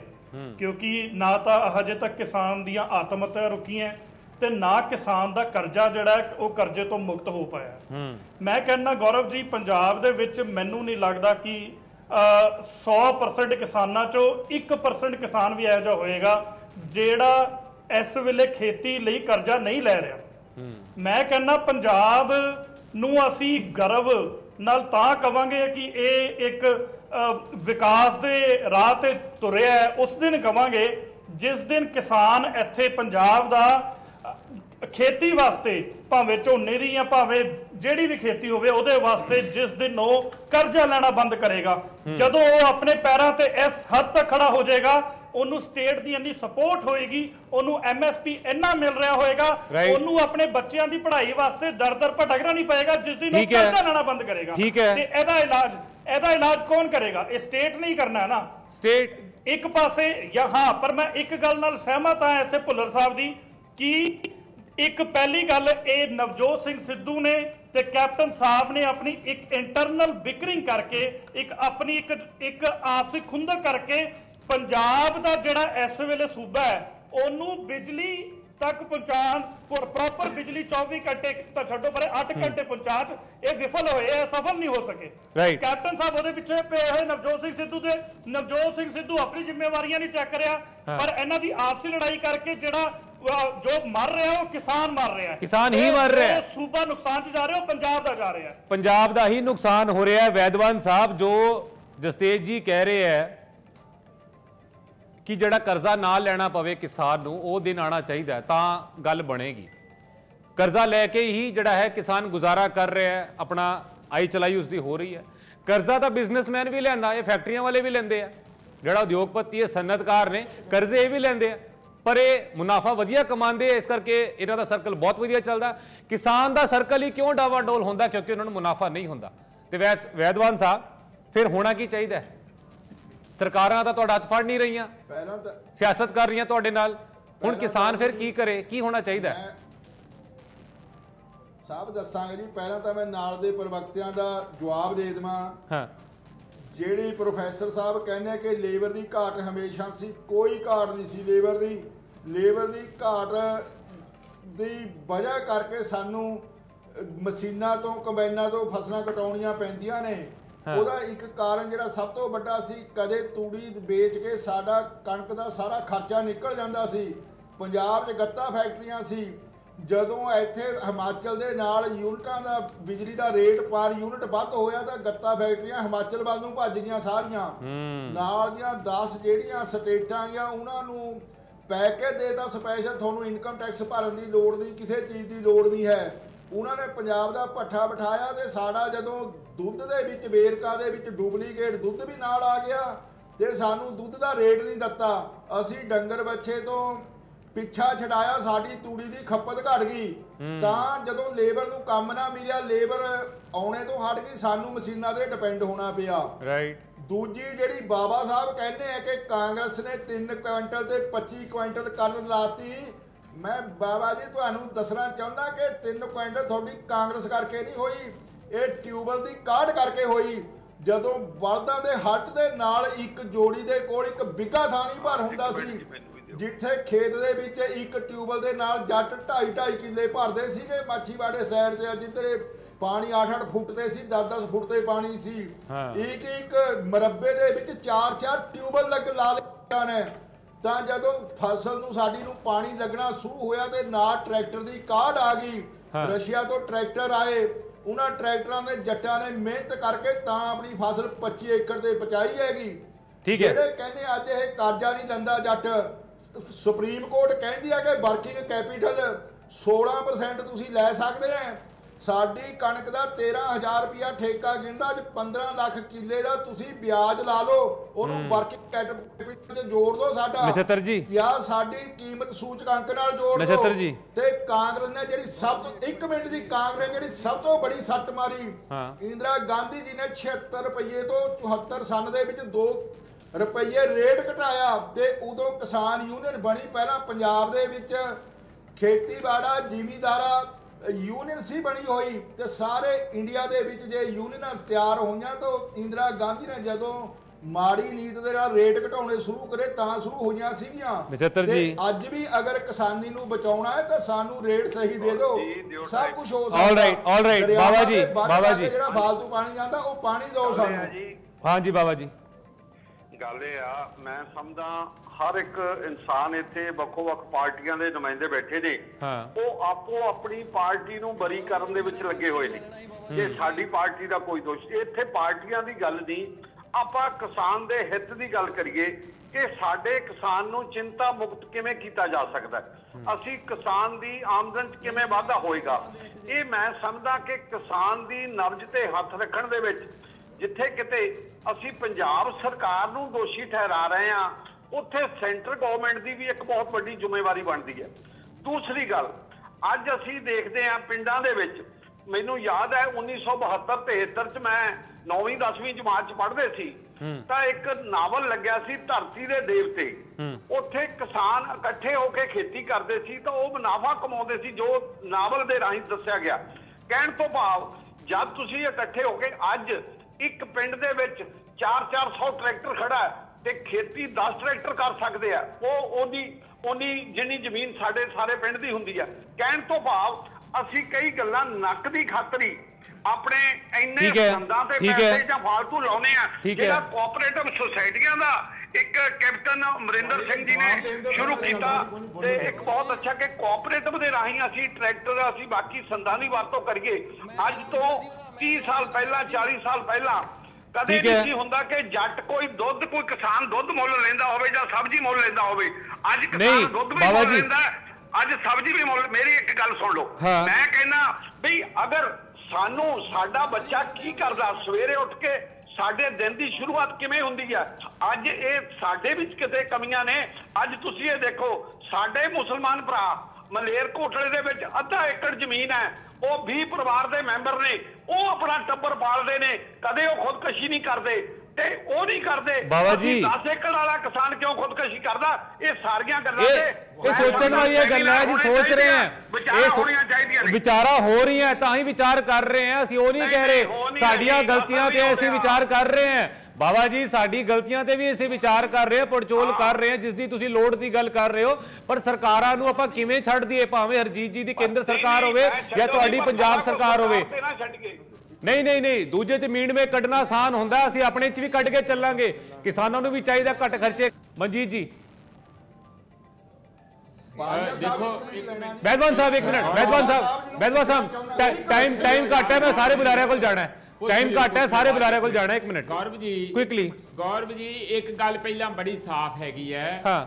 ਕਿ ਜਿਹੜੀ ਖੇਤੀ ਹੁੰਦੀ ਆ ਉਹ ਦੂਜੀ ਜਿਹੜੀ ਇੰਡਸਟਰੀ ਆ ਉਹਦੇ ਵਾਂਗੂ ਨਹੀਂ ਕੀਤੀ ਜਾ ਸਕਦੀ। ਹਾਂ। ਉਹਦੇ ਵਿੱਚ ਤੁਸੀਂ ਕਿਉਂਕਿ ਤੁਸੀਂ ਕੁਦਰਤ ਦੇ ਨਾਲ ਡੀਲ ਕਰਨਾ ਆ। ਦੂਜਿਆਂ ਦੇ ਵਿੱਚ ਤੇ ਜਿਹੜੇ ਜਿਹੜੀ ਚੀਜ਼ ਤੁਸੀਂ ਪਹਿਲਾਂ ਇੱਕ ਦਿਨ 'ਚ ਪੈਦਾ ਕਰਦੇ ਸੀਗੇ ਉਹ ਤੁਸੀਂ ਲੱਖ ਚੀਜ਼ ਇੱਕ ਘੰਟੇ 'ਚ ਪੈਦੇ ਆ। ਇਸ ਕਰਕੇ ਉੱਥੇ ਤੇ ਤੁਸੀਂ ਸਪੀਡ ਫੈਕਟਰੀਆਂ ਦੀਆਂ ਵਧਾ ਦਿੰਦੇ ਆ ਹਰ ਚੀਜ਼ ਨੂੰ। Technology right. ਪਰ ਖੇਤੀ ਦਾ ਜਿਹੜੀ ਚੀਜ਼ ਨੇ ਫਸਲ ਨੇ ਬੀਜਣ ਲਈ ਪੱਕਣ ਲਈ 6 ਮਹੀਨੇ ਲੈਣੇ ਉਹਨੇ 6 ਹੀ ਲੈਣੇ ਆ. ਉਹਨੂੰ ਤੁਸੀਂ ਇੱਕ ਇੱਕ ਘੰਟਾ ਥੋੜੀ ਕਰ ਦੋਗੇ ਇਹੀ ਕਾਰਨ ਆ ਕਿਉਂਕਿ ਇਹ ਕਿਸਾਨ ਭਾਈ ਸਾਡੇ ਕੁਦਰਤ ਦੇ ਨਾਲ ਡੀਲ ਕਰਦੇ ਆ. ਉਹਨਾਂ ਨਾਲ ਵਾਹ ਵਾਸਤਾ ਪੈਂਦਾ ਵੱਡਾ factor ਇਹ। ਹਮੇਸ਼ਾ ਉਹਨਾਂ ਨੂੰ ਘਾਟਾ ਨੂੰ ਘਾਟਾ ਪੈਂਦਾ ਇਹ ਦੋਵੇਂ ਹੀ ਪਾਸਿਓਂ ਵੇਚਣ ਵੱਲੋਂ ਵੀ ਤੇ ਖਰੀਦਣ ਵੱਲੋਂ ਵੀ ਐਉਂ ਦੋ ਪਾਸਿਓਂ ਜਿਸ ਤਰ੍ਹਾਂ ਪਲਾਸ ਦੇ ਵਿੱਚ ਕੋਈ ਚੀਜ਼ ਕੱਸੀ ਜਾਂਦੀ ਹੈ ਕੱਸੇ ਰਹਿੰਦੇ ਆ। ਜੇ ਸੈਂਟਰ ਦੀ ਸਰਕਾਰ ਕੋਈ ਪੁਖਤਾ ਪਾਲਿਸੀ ਨਹੀਂ ਬਣਾਊਗੀ ਸੂਬਿਆਂ ਕੋਲ ਉਹਨੇ ਪੈਸੇ ਨਹੀਂ ਹੁੰਦੇ ਔਰ ਇਹਨਾਂ ਨੂੰ ਭਾਵੇਂ ਅਮਰੀਕਾ ਭਾਵੇਂ ਇਹ ਯੂਰਪ ਹੈਗਾ ਕਿਤੇ ਵੀ ਤੁਸੀਂ ਕਿਸੇ ਵੀ ਦੁਨੀਆ ਦੇ ਵਿੱਚ ਖੇਤੀ ਦੇ ਕਿਸਾਨਾਂ ਦਾ ਹਾਲ ਦੇਖ ਲਓ ਉਹਨਾਂ ਦੀਆਂ ਸਰਕਾਰਾਂ 300% 200% 250% ਉਹਨਾਂ ਨੂੰ ਪਿੱਛੋਂ ਸਪੋਰਟ ਦਿੰਦੀਆਂ ਆ. ਜਿਹੜੀ ਚੀਜ਼ ਇੰਟਰਨੈਸ਼ਨਲ ਮਾਰਕੀਟ 100 ਰੁਪਈਆ ਦੀ ਵਿਕਣੀ ਆ ਉਹਨਾਂ ਦੀ ਜੇਬ 'ਚ 300 ਰੁਪਈਆ 350 ਰੁਪਈਆ 250 ਰੁਪਈਆ ਪਾਉਂਦੇ ਆ। ਸਰਕਾਰਾਂ ਪਾਉਂਦੀਆਂ ਇਹਨਾਂ ਇਹਨਾਂ ਉਹਨਾਂ ਨੂੰ ਕੰਪਨਸੇਸ਼ਨ ਮਿਲਦਾ। ਇਹ ਸਾਰੀ ਦੁਨੀਆ 'ਚ ਆ। ਠੀਕ ਹੈ, ਉਹਦਾ ਵੀ ਮੈਂ ਤੁਹਾਨੂੰ ਦੱਸਦਾ। ਇਸ ਕਰਕੇ ਇਹ ਜ਼ਰੂਰੀ ਹੈ ਕਿ ਸਵਾਮੀਨਾਥਨ ਕਮੇਟੀ ਵਰਗੀ ਰਿਪੋਰਟ ਨੂੰ ਲਾਗੂ ਕੀਤਾ ਜਾਏ। ਸਵਾਮੀਨਾਥਨ ਕਮਿਸ਼ਨ ਦੀ ਰਿਪੋਰਟ ਲਾਗੂ ਕੀਤੀ ਜਾਏ। ਸਵਾਮੀਨਾਥਨ ਕਮਿਸ਼ਨ ਦੀ ਰਿਪੋਰਟ ਲਾਗੂ ਕੀਤੀ ਜਾਏ ਤਾਂ only only way out Bhullar sahib. Walia ਦੀ ਵਾਲੀਆ ਦੀ ਗੱਲ ਇਸ ਤਰ੍ਹਾਂ ਇੱਕ ਤੇ ਬਾਬਾ ਜੀ ਦੀ ਗੱਲ ਦਾ ਮੈਂ ਜਵਾਬ ਦੇਣਾ ਚਾਹੁੰਦਾ ਹਾਂ। 60 ਸਾਲ ਤੱਕ ਸਰਕਾਰ ਉਹਨਾਂ ਦੀ ਹੋ ਰਹੀ ਹੈ ਉਹਨਾਂ ਨੂੰ ਯਾਦ ਹੋਣਾ ਚਾਹੀਦਾ ਹੈ। ਇਹ ਕਿਸਾਨੀ ਦਾ ਹਾਲ ਉਹਨਾਂ ਦੀ ਸਰਕਾਰ ਨੇ ਕੀਤਾ ਦੂਜੀ ਪ੍ਰੋਫੈਸਰ ਮਨਜੀਤ ਸਿੰਘ ਹੁਣੇ ਉਹਨੇ ਕਹਿ ਰਹੇ ਸੀਗੇ ਜੀ ਅਮਰੀਕਾ ਦੇ ਵਿੱਚ ਯੂਰਪ ਦੇ ਵਿੱਚ ਚਾਈਨਾ ਦੇ ਵਿੱਚ। ਮੈਂ ਯੂਰਪ ਜਾ ਕੇ ਵੀ ਕਿਸਾਨ ਦੇਖੇ ਨੇ ਮੈਂ ਆਰਐਸਐਸ ਦਾ ਕਿਸਾਨ ਵਿੰਗ ਹੈਗਾ ਕਿਸਾਨ ਸੰਘ ਉਹਦੇ ਥਰੂ ਮੈਂ ਗਿਆ ਅਮਰੀਕਾ ਜਾ ਕੇ ਵੀ ਦੇਖਿਆ ਇਹ ਕੈਨੇਡਾ ਦੇ ਜਿਹੜੇ ਜ਼ਮੀਂਦਾਰ ਹੈਗੇ ਆ, ਉਹ ਥੋੜੇ ਸੌਖੇ ਨੇ। ਅਮਰੀਕਾ ਦੇ ਵਿੱਚ ਇਹੀ ਹਾਲ ਹੈ ਕਿਸਾਨਾਂ ਦਾ ਯੂਰਪ ਦੇ ਵਿੱਚ ਇਹੀ ਹਾਲ ਹੈ ਔਰ ਚਾਈਨਾ 'ਚ ਵੀ ਇਹੀ ਹਾਲ ਹੈ। ਚਾਈਨਾ ਦੇ ਮੇਰੇ ਪਿਛਲੇ ਹਫ਼ਤੇ ਜਾ ਕੇ ਆਏ ਹਾਂ ਕਿਸਾਨੀ ਜਾ ਕੇ ਦੇਖ ਕੇ ਆਏ ਉੱਥੇ ਹਾਲ ਕੀ ਹੈ? ਤੁਸੀਂ ਕਿਸਾਨਾਂ ਦਾ ਹਜ਼ਾਰੀ ਦੁਨੀਆ ਦੇ ਵਿੱਚ ਸਿਰਫ ਇਹੀ ਹਾਲ ਹੈ। ਬਹੁਤ ਬੁਰਾ ਹਾਲ ਹੈ। ਨਹੀਂ ਹੈਗਾ। ਉਹਨਾਂ ਨੂੰ ਬਚਾਉਣ ਲਈ ਸਰਕਾਰਾਂ ਨੂੰ ਮਦਦ ਕਰ ਕੋਈ ਸਰਕਾਰ ਕਿਤੇ ਵੀ ਐਸਾ ਨਹੀਂ ਕਰ ਰਹੀ। ਸਿਰਫ ਹਾਂ ਇੱਕ ਚੀਜ਼ ਜ਼ਰੂਰ ਹੈਗੀ ਹੈ। ਜਿਹੜੇ ਉੱਥੋਂ ਦੇ ਕਿਸਾਨ ਨੇ ਜਿੰਨੀ ਉਹਨਾਂ ਦੇ ਕੋਲ ਸਹੂਲਤ ਹੈਗੀ ਆ ਉਹਦੇ ਨਾਲ ਗੁਜ਼ਾਰਾ ਕਰ ਰਹੇ ਨੇ। ਸਾਡੇ ਜਿਹੜੇ ਪੰਜਾਬ ਦੇ ਕਿਸਾਨ ਨੇ ਜਾਂ ਸਾਡੇ ਜਿਹੜੇ ਇੱਥੋਂ ਦੇ ਕਿਸਾਨ ਨੇ ਇਹਨਾਂ ਵਰਗੂ ਨਹੀਂ। ਕਿ ਜਿੰਨੀ ਆਪਣੀ ਚਾਦਰ ਆ ਉਸ ਤੋਂ ਵੱਧ ਗਲਤ ਹੈ ਯਾਰ ਇਹ ਕਿਸਾਨਾਂ ਨੂੰ ਤੁਸੀਂ ਦੋਸ਼ ਦੇ ਰਹੇ ਆ ਤੇ ਕਿਸਾਨ ਕਿਸਾਨ ਜਿਹੜੇ ਨੇ ਕਿਸਾਨੀ ਛੱਡ ਦੇਣ। ਹੁਣ ਇੱਥੋਂ ਭਾਵ ਇਹ ਹੋ ਗਿਆ ਕਿ ਕਿਸਾਨ ਆਪਣੀ ਚਾਦਰ ਤੋਂ ਵੱਧ ਪੈਰ ਪਸਾਰਦੇ ਨੇ। ਪੁੱਲਰ ਸਾਹਿਬ ਤੁਸੀਂ ਇਹ ਗੱਲ ਕਹੀ ਹੈ? ਇੱਕ ਵਾਰ ਇੱਕ ਵਾਰ ਵਾਲੀਆ ਸਾਹਿਬ ਇੱਕ ਵਾਰ ਅਗਰ ਕਿਸਾਨ ਨੇ ਮਿੱਥ ਲਏ ਕਿ ਮੈਂ ਇੱਕ ਫਸਲ ਨਹੀਂ ਬੀਜਣੀ ਠੀਕ ਹੈ। ਸਾਰੀਆਂ ਸਰਕਾਰਾਂ ਨੂੰ ਪਤਾ ਲੱਗ ਜਾਏਗਾ ਕਿ ਕਿਸਾਨ ਦੀ all right all Adwal sahib Gurpreet Singh Adwal. ਤੇ ਆਲ ਜਿਹੜਾ ਕਰਜ਼ੇ ਲਏ ਰਾਈਟ ਉਹਨਾਂ ਕਿਸਾਨ ਦੀ ਗੱਲ ਕਰ ਰਹੇ ਹੋ ਕਿਸਾਨ ਵੀ ਪੁੱਛ ਲੈਣੇ ਵੈਦਵਾਨ ਸਾਹਿਬ ਆ ਰਹੇ ਹਨ ਵੈਦਵਾਨ ਸਾਹਿਬ ਆ ਰਹੇ ਪਹਿਲਾਂ ਹਨ ਕਿਉਂ ਮੋੜ ਰਹੇ? ਹਾਂ ਵੈਦਵਾਨ ਸਾਹਿਬ ਆ ਰਹੇ ਹਨ ਪੁੱਲਰ ਸਾਹਿਬ ਇੱਕ ਮਿੰਟ। ਬਿਲਕੁਲ ਬਿਲਕੁਲ। ਅਡਵਾਲ ਸਾਹਿਬ। ਮੈਂ ਕਹਾਂ ਜੀ ਗੌਰਵ ਜੀ ਪਹਿਲੋਂ ਤਾਂ ਮੈਂ ਪਹਿਲੋਂ ਤਾਂ ਮੈਂ ਬਹੁਤ ਧੰਨਵਾਦ ਕਰਦਾ ਤੁਹਾਡਾ। ਸਾਡੀ ਕੋਈ ਸਰਕਾਰ ਨਹੀਂ ਸੁਣਦੀ। ਜੇ ਸੁਣਿਆ ਤਾਂ ਅੱਜ ਮੀਡੀਆ ਸੁਣ ਰਿਹਾ। ਮੀਡੀਆ ਤੋਂ ਬਿਨਾ ਕੋਈ ਕਿਸਾਨ ਦਾ ਹੱਥ ਨਹੀਂ ਫੜਦਾ। ਅੱਜ ਗੱਲ ਕਰੂੰ ਮੈਂ ਤੱਥਾਂ ਦੇ ਆਧਾਰ ਤੇ। ਕਿਸੇ ਪਾਰਟੀ ਦੀ ਗੱਲ ਨਹੀਂ ਕਿਸੇ ਸਰਕਾਰ ਦੀ ਨਹੀਂ। ਬਾਬਾ ਜੀ ਨੂੰ ਮੈਂ ਇੱਕੋ ਗੱਲ ਪੁੱਛਣਾ ਚਾਹੁੰਦਾ ਬਜਟ ਦੇ ਵਿੱਚ 350 ਕਰੋੜ ਰੁਪਈਆ ਰੱਖਿਆ ਕਿਸਾਨ ਨੂੰ ਦੇਣ ਨੂੰ, ਐਤਕੀ ਇਹਨਾਂ ਨੇ ਗੰਨੇ ਦਾ, ਜਿਹਦੇ ਚੋਂ 1 ਰੁਪਈਆ ਨਹੀਂ ਦਿੱਤਾ। ਮੇਰੇ ਕੋਲ ਆਰਟੀਆਈ ਪਾਈ, ਮੇਰੇ ਤੋਂ ਸਬੂਤ ਪਿਆ। ਦੂਜੇ ਨੰਬਰ ਤੇ 3500 ਕਰੋੜ ਕਰਜ਼ਾ ਮਾਫ ਕੀਤਾ, ਸਾਡਾ ਬਕਾਇਆ 1200 ਕਰੋੜ ਰੁਪਇਆ ਇਹਨਾਂ ਦੇ ਕੋਲ ਪਿਆ। ਠੀਕ ਹੈ ਜੀ? ਇਹਨਾਂ ਨੇ ਝੋਨੇ ਦੀ ਤਰੀਕ ਕਦੀ 13 ਤਰੀਕ ਕਰਤੀ ਕਦੀ ਕਰ ਦਿੱਤੀ ਜੀ 20 ਤਰੀਕ। ਪਰ ਸ਼ੂਗਰ ਕੰਟਰੋਲ ਐਕਟ 1961 ਦਾ ਆਇਆ ਕਾਨੂੰਨ ਕਿ 14 ਦਿਨ ਚ ਜੇ ਗੰਨੇ ਦੀ ਅਦਾਇਗੀ ਨਹੀਂ ਹੁੰਦੀ ਤੇ ਸਾਨੂੰ ਉਹ ਤੇ ਵਿਆਜ ਦਿੱਤਾ ਜਾਵੇ। ਉਹ ਤੇ ਕੋਈ ਇਹ ਵਿਆਜ ਨਹੀਂ ਦੇ ਰਿਹਾ। ਉਹ ਤੋਂ ਬਾਅਦ ਗੱਲ ਕੀਤੀ ਹੁਣੇ ਹੀ ਆਪਣੇ ਨੁਮਾਇੰਦੇ ਨੇ ਕਿ ਕਿਸਾਨ ਜਿਹੜਾ ਚਾਦਰ ਤੋਂ ਜ਼ਿਆਦਾ ਪੈਰ ਪਸਾਰਦਾ। ਮੈਂ ਤੁਹਾਨੂੰ ਦੱਸਣਾ ਚਾਹੁੰਦਾ ਕਿ ਮੇਰਾ 6 ਲੱਖ ਰੁਪਈਆ ਗੰਨੇ ਦਾ ਪਹਿਲਾਂ ਜੇ ਪਿਆ। ਅੱਜ ਮੇਰੀ ਭੈਣ ਦਾ ਵਿਆਹ ਆ ਗਿਆ। ਮੇਰੇ ਘਰ 'ਚ ਕੋਈ ਪ੍ਰੋਗਰਾਮ ਆ ਗਿਆ, ਮੈਂ ਆਪਣੀ ਭੈਣ ਦਾ ਵਿਆਹ ਕਰਨਾ ਜੀ, ਮੈਂ ਕਿੱਥੇ ਚੱਕੂ? ਕਰਜ਼ਾ ਚੱਕ ਕੇ ਕਰੂੰਗਾ। ਉਹ ਕਰਜ਼ਾ ਤੁਸੀਂ ਸਾਡੇ ਸਿਰ ਤੇ ਚੜਾਇਆ ਸਾਡਾ ਕਰਜ਼ਾ ਨਾ ਮਾਫ ਕਰੋ। ਅਸੀਂ ਨਹੀਂ ਚਾਹੁੰਦੇ ਮਾਫ ਕਰੋ। ਪਰ ਸਾਡੀ ਜਿਹੜੀ ਗੰਨੇ ਦੀ ਅਦਾਇਗੀ ਸਾਡੀ ਫਸਲ ਦੀ ਅਦਾਇਗੀ ਉਹ ਸਮੇਂ ਸਿਰ ਕਰੋ। 1947 ਤੋਂ ਬਾਅਦ ਅੱਜ ਪਹਿਲੀ ਵਾਰੀ ਹੋਇਆ ਕਿ 2017 2018 ਦਾ ਗੰਨੇ ਦਾ ਸੀਜ਼ਨ ਖਤਮ ਹੋ ਗਿਆ। ਤੇ ਜਿਹੜਾ 19 ਦਾ ਸੀਜ਼ਨ ਖਤਮ ਹੋ ਗਿਆ ਤੇ ਪੈਸਾ ਸਾਨੂੰ 2017 ਦਾ ਹਾਲੇ ਤੱਕ ਨਹੀਂ ਮਿਲਿਆ। ਇਹ 1947 ਤੋਂ ਬਾਅਦ ਆ। Adwal sahib all right all right all right Baidwan sahib channel ਦੇ ਥਰੂ ਵੈਦਵਾਨ ਸਾਹਿਬ। ਤੁਹਾਡੇ ਚੈਨਲ ਦੇ ਥਰੂ ਇੱਕੋ ਲਾਸਟ ਗੱਲ ਕਰਨੀ ਚਾਹੁੰਦਾ ਕਿ ਜੇ ਇਹਨਾਂ ਦਾ ਕੋਈ ਨੁਮਾਇੰਦਾ ਵੀ ਨਾਲ ਆ ਕੇ ਖੁੱਲੀ ਬਹਿਸ ਕਰੇ। ਮੈਂ ਖੁੱਲੀ ਬਹਿਸ ਕਰਨ ਨੂੰ ਚੈਲੰਜ ਕਰਦਾ ਤੁਹਾਡੇ ਚੈਨਲ ਦੇ ਥਰੂ ਮੈਂ ਧੰਨਵਾਦ ਕਰਦਾ ਇੰਡੀਆ ਨਿਊਜ਼ ਦਾ ਜਿਹਨੇ ਕਿਸਾਨੀ ਦੀ ਬਾਹ ਫੜੀ ਆ। ਜਿੱਥੇ ਮਰਦੀ ਮੇਰੇ ਨਾਲ ਨੁਮਾਇੰਦਾ ਖੁੱਲੀ ਬਹਿਸ ਕਰੇ। ਮੈਂ all right all right Adwal sahib Adwal sahib okay Adwal sahib okay Adwal sahib okay Baidwan sahib Baidwan sahib ਤੁਸੀਂ ਹੁਣ ਮੈਨੂੰ Baba ji all right all right all right all right ਹੁਣ ਬਾਬਾ ਜੀ ਜਵਾਬ ਦੇਣ। ਧੰਨਵਾਦ ਧੰਨਵਾਦ। ਅਡਵਾਲ ਸਾਹਿਬ ਇੱਕ ਮਿੰਟ ਇੱਕ minute Baidwan sahib Baidwan sahib Baidwan sahib all all right all right ਸਵਾਲ ਲੈ ਲਓ ਸਵਾਲ ਲੈ ਲਓ। ਵੈਦਵਾਨ ਸਾਹਿਬ ਸਵਾਲ ਨਹੀਂ ਨਹੀਂ ਰੁਕ ਜਾਓ ਰੁਕ ਜਾਓ। ਤੁਸੀਂ ਬਾਕੀਆਂ ਦੇ ਜਵਾਬ ਨਾ ਦਿਓ। ਮੈਨੂੰ ਮੈਨੂੰ ਬਾਕੀਆਂ ਦੇ ਜਵਾਬ ਨਹੀਂ ਚਾਹੀਦੇ। ਤੁਸੀਂ ਸਵਾਲ ਸੁਣ ਲਓ। ਪਹਿਲੇ ਸਵਾਲ ਸੁਣ ਲਓ ਵੈਦਵਾਨ ਸਾਹਿਬ। ਗੱਲ ਕਰਨ ਵਾਲੀ ਹੈ. ਜਿਹੜੀ ਕਾਂਗਰਸ ਨੇ ਗੱਲ ਕੀਤੀ ਉਹਦਾ ਜਵਾਬ ਲਵੋ। ਔਰ ਰੁਕਦਾ ਜਾਓ ਬਾਲੀ ਜੀ। ਨਹੀਂ ਨਹੀਂ ਇਹ ਗੱਲ ਗਲਤ ਹੈ ਵਾਲੀਆ ਸਾਹਿਬ। ਅਗਰ ਅਗਰ ਕਾਂਗਰਸ ਨੇ ਕੋਈ ਗੱਲ ਕੀਤੀ ਉਹਦਾ ਜਵਾਬ ਲਵੋ ਤੁਸੀਂ ਸਾਡੇ ਕੋਲ। ਜਵਾਬ ਲੈਣੇ ਨਾਲ ਤੁਸੀਂ ਜਵਾਬ ਲਵੋ ਜਵਾਬ ਦੇਗਾ ਤੁਸੀਂ ਦੁਬਾਰਾ ਦੁਬਾਰਾ ਸਾਰਿਆਂ ਕੋਲ ਚਲੇ ਗਏ ਤੁਸੀਂ ਮੇਰੇ ਕੋਲ ਨਹੀਂ ਆਏ। ਅਕਾਲੀ ਦਲ ਮੇਨ ਪਾਰਟੀ ਹੈ ਪੰਜਾਬ ਦੀ। ਬਾਲੀ ਜੀ, ਦੀ ਬਾਲੀ ਮੈਨੂੰ ਜੀ। ਤਾਂ ਜਵਾਬ ਦੇ ਦਿੰਦੇ ਬਾਬਾ ਸਾਹਿਬ ਨੇ ਕੀ ਕਿਹਾ? ਬਾਲੀ ਜੀ ਤੁਸੀਂ ਹੁਣ ਬੋਲਣ ਕਿ ਇਕੱਲੇ ਬੋਲੋਗੇ? ਇੱਕ ਮਿੰਟ ਇੱਕ ਮਿੰਟ ਇੱਕ ਮਿੰਟ। ਹੁਣ ਬਾਲੀ ਬਾਲੀ ਜੀ ਬੋਲ ਰਹੇ ਉਹਨਾਂ ਨੇ ਉਹਨਾਂ ਦਾ ਜਵਾਬ ਦੇ ਦੇ ਦਈਏ। ਬਾਲੀ ਜੀ ਬਾਲੀ ਜੀ ਬੋਲ ਰਹੇ ਉਹਨਾਂ ਦਾ ਜਵਾਬ ਦੇ ਦਈਏ। ਤੁਸੀਂ ਉਹਨਾਂ ਕੋਲੋਂ ਪੁੱਛ ਹੀ ਨਹੀਂ ਰਹੇ ਹੈਗੇ। ਜਿਹੜਾ ਬੰਦਾ ਜਵਾਬਦੇਹੀ ਨਹੀਂ ਹੈਗਾ ਉਹਦੇ ਕੋਲੋਂ ਤੁਸੀਂ ਸਾਰਾ ਕੁਝ ਪੁੱਛੀ ਜਾਈ ਜਾ ਰਹੇ ਹੋ। ਪਾਰਟੀਆਂ ਜਵਾਬਦੇਹੀ ਨੇ ਪੰਜਾਬ ਦੇ ਅੰਦਰ। ਜਿਹੜੀਆਂ ਪਾਰਟੀਆਂ ਸੱਤਾਧਾਰੀ ਨੇ ਜਾਂ ਸੱਤਾ ਭੋਗ ਕੇ ਚਲੀਆਂ ਗਈਆਂ ਨੇ ਉਹ ਪਾਰਟੀਆਂ ਜਵਾਬਦੇਹੀ ਨੇ। ਜਿਹੜੀਆਂ ਜਵਾਬਦੇਹੀ ਨਹੀਂ ਹੈਗੀ ਉਹਨਾਂ ਕੋਲ ਤੁਸੀਂ ਪੁੱਛ ਰਹੇ ਹੋ। ਬਾਲੀ ਜੀ ਹੋ ਗਿਆ। ਚਲੋ ਨਾ ਨਾ ਨਾ ਕੋਈ ਨਹੀਂ ਆਪਾਂ ਆਪਾਂ ਬੋਲ ਨਹੀਂ। ਰਹੇ ਆਪਾਂ ਬੋਲ ਨਹੀਂ। ਰਹੇ ਵੈਦਵਾਨ ਸਾਹਿਬ ਰੁਕ ਜਾਓ ਰੁਕ ਜਾਓ। ਪੰਜਾਬ ਦੇ ਲੋਕਾਂ ਨੂੰ ਸਮਝਣਾ ਚਾਹੀਦਾ ਕਿ ਬਾਲੀ ਜੀ ਜੋ ਬੋਲ ਰਹੇ ਆ ਉਸ ਦਾ ਮਕਸਦ ਕੀ ਹੈ? ਗੱਲ ਸੁਣ ਲਓ। ਗੱਲ ਕਿਸਾਨਾਂ ਦੀ ਹੋ ਰਹੀ ਹੈ। ਕਿਸਾਨ ਆਗੂ ਤੋਂ ਆਪਾਂ ਪੁਆਇੰਟ ਲਿੱਤਾ। ਤੁਹਾਡੇ ਤੋਂ ਲੈ ਰਹੇ ਆ ਕਿਸਾਨਾਂ ਦੀ ਭੁੱਲਰ ਸਾਹਿਬ ਹੁਣੇ ਬੋਲ ਕੇ ਹਟੇ। ਬਾਬਾ ਜੀ ਦੀ ਗੱਲ ਦਾ ਉਹਨਾਂ ਨੇ ਜਵਾਬ ਦਿੱਤਾ। ਐਕਸਪਰਟ ਜਿਹੜੇ ਬੈਠੇ ਉਹਨਾਂ ਦੀ ਆਪਾਂ ਗੱਲ ਸੁਣੀ। ਬਾਲੀ ਜੀ ਨੂੰ ਕੀ ਪ੍ਰੋਬਲਮ ਹੋਈ? ਮੈਨੂੰ ਪਹਿਲੇ ਪਤਾ ਚੱਲਣਾ ਚਾਹੀਦਾ ਨਾ। ਬਾਲੀ ਜੀ ਕੱਲੇ ਨੂੰ ਪ੍ਰੋਬਲਮ ਕੀ ਹੋਈ ਹੈ ਸਰ ਕੀ ਆਪਾਂ ਨਹੀਂ ਨਹੀਂ ਪ੍ਰੋਬਲਮ ਕੱਲੇ ਨੂੰ ਇਹ ਹੋਈ ਹੈ। ਕਿ ਅਗਰ ਕਾਂਗਰਸ ਨੇ ਕੋਈ ਗੱਲ ਕੀਤੀ ਹੈ ਅਕਾਲੀ ਦਲ ਦੀ ਗੱਲ ਹੋਈ ਹੈ ਤਾਂ ਜਵਾਬ ਤਾਂ ਮੈਂ ਹੀ ਦੇਵਾਂਗਾ ਨਾ ਜੀ ਉਹਦਾ। ਤੁਹਾਡੇ ਕੋਲ ਮੈਂ ਆਵਾਂਗਾ ਨਾ। ਤੇ ਕਿਸਾਨਾਂ ਦੀ ਗੱਲ ਹੋਈ ਉਹਦਾ ਜਵਾਬ। ਤਾਂ ਮੈਂ ਹੀ ਦੇਵਾਂਗਾ ਨਾ। ਤੁਸੀਂ ਸਾਰਾ ਸਮਾਂ ਖਰਾਬ ਕਰਤਾ ਪੰਜਾਬ ਦੇ ਕਿਸਾਨ ਦੇਖ ਰਹੇ ਆ ਬਾਲੀ ਜੀ ਨੇ ਕਿਸੇ ਨੂੰ ਬੋਲਣ ਨਹੀਂ ਦਿੱਤਾ। ਵੈਦਵਾਨ ਸਾਹਿਬ ਬੋਲਣ ਲਈ ਬੈਠੇ ਸੀ ਕਿਸਾਨ ਆਗੂ ਗੱਲ ਕਿਸਾਨਾਂ ਦੀ ਹੋ ਰਹੀਆਂ। ਤੁਸੀਂ ਸਾਰਾ ਸਮਾਂ ਖਰਾਬ। ਕਰ ਦਿੱਤਾ। ਇਹ ਤਾਂ ਤੁਸੀਂ ਐਲੀਗੇਸ਼ਨ ਲਾ ਰਹੇ ਹੋ। ਤੁਸੀਂ ਇਹ ਮੇਰੇ ਤੇ ਲੜਾਈ ਜਾ ਰਹੇ ਹੋ। ਤੁਸੀਂ ਕਿਸਾਨ ਨੂੰ ਬੋਲਣ ਨਹੀਂ ਦੇ ਰਹੇ ਹੋ। ਤੁਸੀਂ ਜਵਾਬ ਸਾਡੇ ਕੋਲ ਲਓਗੇ ਨਾ ਜੀ। ਅਕਾਲੀ ਦਲ ਦਾ ਜਵਾਬ ਤੁਸੀਂ ਕਿਹਾ 10 ਸਾਲ ਸਰਕਾਰ ਰਹੀ ਹੈ 2.5 ਸਾਲ ਇਹਨਾਂ ਦੀ ਸਰਕਾਰ ਰਹੀ ਹੈ ਇਹਨਾਂ ਨੇ ਕੀ ਕੀਤਾ? 13 ਵਾਰੀ ਬਿਜਲੀ ਦੇ ਬਿੱਲ ਵਧਾਤੇ ਕਿਆ ਇਹਨਾਂ ਨੇ ਪ੍ਰੋਮਿਸ ਨਹੀਂ ਕੀਤਾ ਸੀ ਕਿਆ ਕਿਸਾਨਾਂ ਨਾਲ ਇਹਨਾਂ ਨੇ ਪ੍ਰੋਮਿਸ ਨਹੀਂ ਕੀਤਾ? ਕਿਆ ਗੰਨੇ ਨਾਲ ਇਹਨਾਂ ਨੇ ਪ੍ਰੋਮਿਸ ਨਹੀਂ ਕੀਤਾ? ਤੁਸੀਂ ਦੱਸੋ ਕਿਹੜਾ ਪ੍ਰੋਮਿਸ ਨਹੀਂ ਕੀਤਾ? ਬਾਬਾ ਜੀ, ਮੇਰੇ ਵੱਡੇ ਭਰਾ ਨੇ ਗੱਲ ਸਹੀ ਹੈ। ਇਹਦੇ 'ਚ ਕੋਈ ਦੋਰਾ ਨਹੀਂ। ਮਗਰ ਜਦੋਂ ਪਾਰਟੀ ਦਾ ਸਵਾਲ ਆਏਗਾ, ਗੱਲ ਕਰਨੀ ਪੈਗੀ। ਜਵਾਬ ਦੇਣਾ ਪਏਗਾ ਉਹਦਾ। ਤੁਸੀਂ ਉਹਦੇ ਕੋਲ ਜਵਾਬ ਲੈ ਲਓਗੇ, ਜਿਹੜਾ ਜਵਾਬ ਦੇ ਹੀ ਨਹੀਂ ਹੈਗਾ ਪਾਰਟੀ ਦਾ। ਅਸੀਂ ਜਵਾਬ ਦੇ ਹੀ ਆ ਅਸੀਂ ਬੈਠੇ ਆ ਨੁਮਾਇੰਦੇ ਆ ਪਾਰਟੀ ਦੇ। ਜਿੰਨੇ ਵਾਅਦੇ ਕੀਤੇ ਗਏ ਇੱਕ ਵੀ ਪੂਰਾ ਕੀਤਾ ਇਹਨਾਂ ਨੇ? ਤੇ ਦੱਸ ਦੇਣ। 13 ਵਾਰੀ ਬਿਜਲੀ ਦੇ ਬਿੱਲ ਵਧਾਏ ਨੇ। ਕਿਆ ਵਾਅਦਾ ਕੀਤਾ ਸੀ ਕਿ ਨਹੀਂ ਕੀਤਾ ਸੀ ਇਹਨਾਂ ਨੇ? ਕੀ ਅਸੀਂ ਕਢਾਵਾਂਗੇ?